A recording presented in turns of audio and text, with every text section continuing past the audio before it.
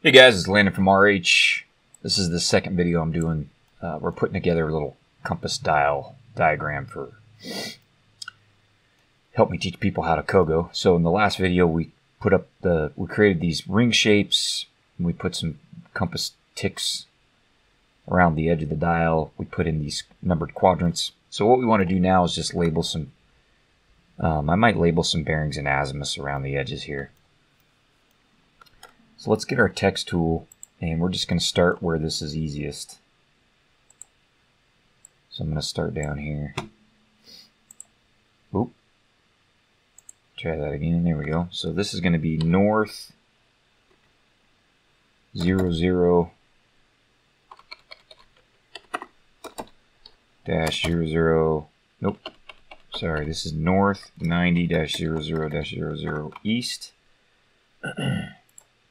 I'm going to make that black.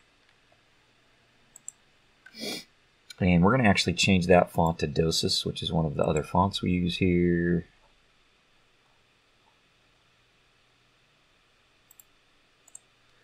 And then I'm going to make it a little smaller. It's weird that it says that font size is like that. Let's try 10. Yeah, Alright, so I got something going on with my font size.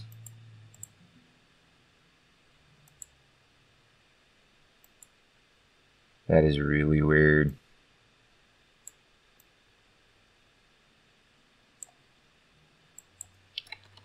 I don't know if that if it's doing that in inches maybe. It's a little bit weird. All right, so and I don't I don't want this text centered. So let's go ahead and left justify it. Okay, and what we're going to do here, it looks like I need a little more room. I'm going to make that a little bigger. We're going to go 0.2. So we need a little more room on our page.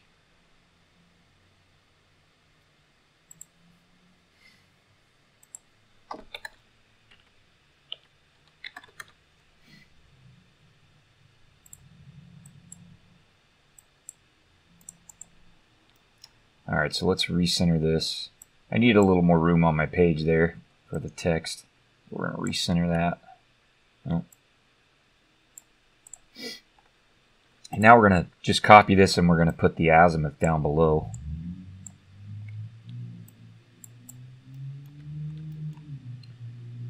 So this is an azimuth. So I'm going to just put AZ. Sorry guys, sometimes my computer freezes up a little bit with the with the screen recorder on. So this is 90 0, Okay, so that was the easy one. These other ones are a little bit tricky. So we're going to duplicate this text over here, but we need to change the justification because we're on the other side of the dial. So I'm going to hit the text tool and we're going to left justify those. And then we'll pull them over here again.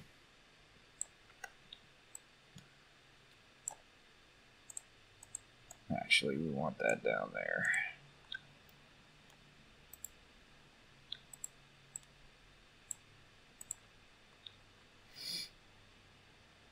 Now probably what I want, so I'm snapping these to the grid, but what that means is they're not evenly, evenly spaced around the tick. So let me show you how you fix that.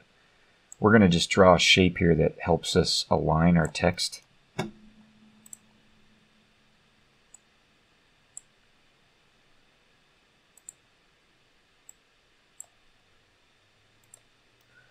So we're going to select our text and then this rectangle that we're using for alignment. We're going to go over to align and distribute and we're going to center. Nope. I only want to center it vertically. we'll do the same thing. We'll drop this down. And then we'll center this vertically. Okay, so now the nice thing is uh, the gap. Whoop. The vertical gap now is the same. So we want to repeat that over here.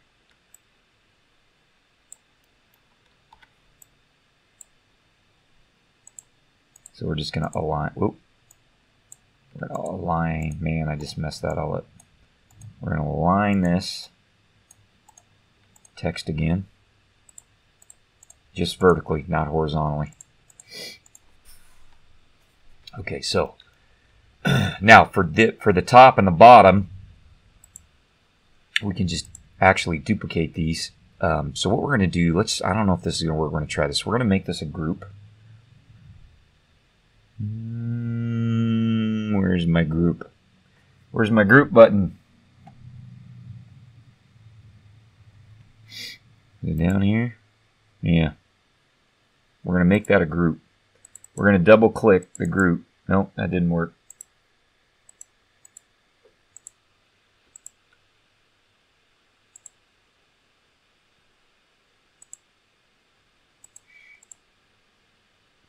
Okay, so we're going to click it one time, and then I'm going to do the same thing. I'm going to pull my rotation over here. We're going to duplicate it, and then we're going to go back to transform. And what we can do is we can actually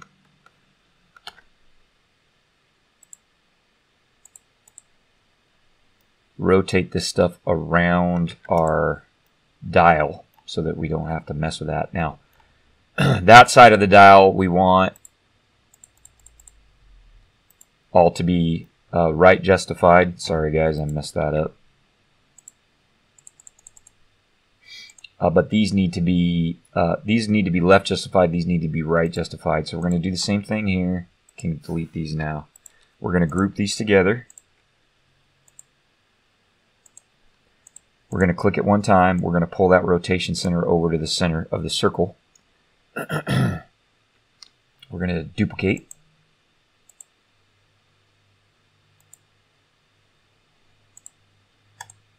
Oop. I forgot to duplicate. Duplicate one more time.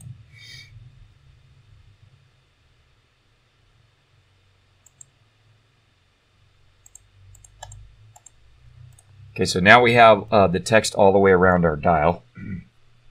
what we can do now is we can go in and uh, we can edit this text. I'm going to pause the video because you don't need to watch me do that.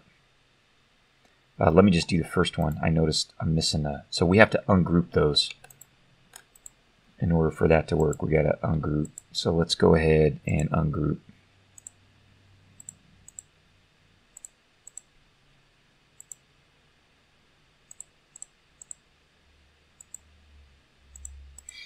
Now we can just double click these and make the edits we need. I don't know why it's not letting me. Is my numlock on? For some reason, it's not letting me put in a dash there, which is weird. There we go.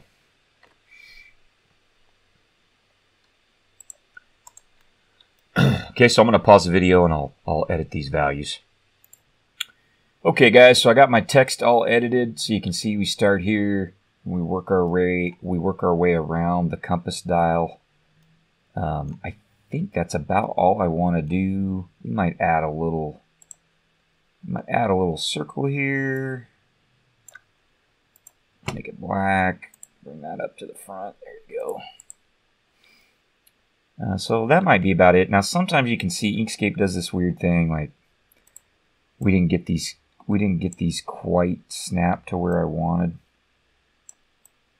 So we can fix those gaps real quick.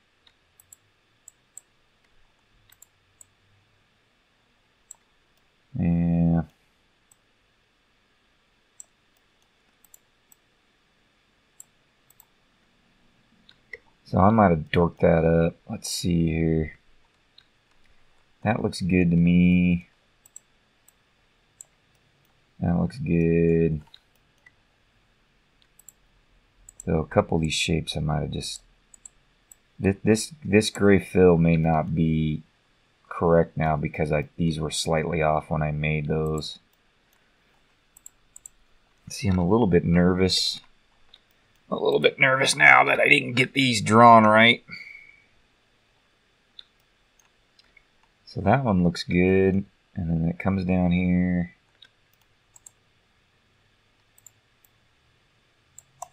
That looks good. I don't know why this one is off.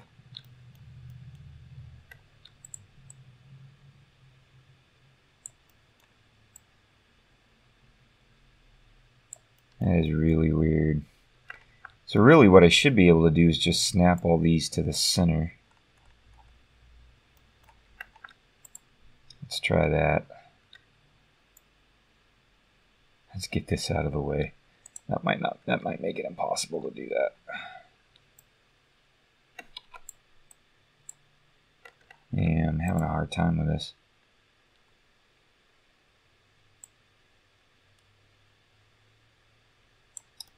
Yeah. See, when I did these circles, I should have made them come out here to a to a an even edge like this. So I might have to redo these. Uh, let me redo these real quick, guys, and then I'll show you what it should look like. Okay, guys, so I think I got this fixed. No gap there now, so that looks a little better. So what we want to do now is we're going to export this. So we'll save it, then we'll say export. And I'm going to go ahead and set my background color to white.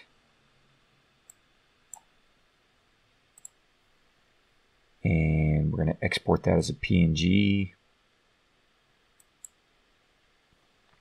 And then we can also save it as a PDF.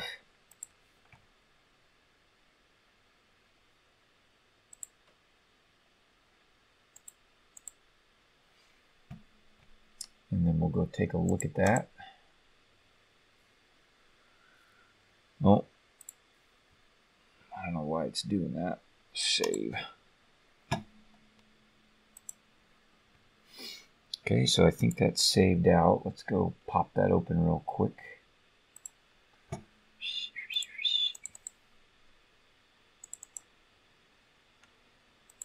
So here's the PDF. And uh, it's vector, so it's nice and crisp if you if you zoom in. Okay, but we also have a, a JPEG or a PNG. Okay, it looks pretty good. It gets a little blurry as you zoom in, but that's something now you could easily print out and uh, tape on your desk for when you're doing COGOs. So took me a little longer than I than I thought, but uh, about 20 minutes. We got a nice diagram. I noticed some of my CAD techs had handwritten, had sketched this diagram out now. So now we've got something that looks a little more professional, and we can use that when we do our COGO tutorial videos for CAD. We can have this dial pulled up. So hopefully you learned a few little things about Inkscape watching this, and I appreciate you guys tuning in to the channel.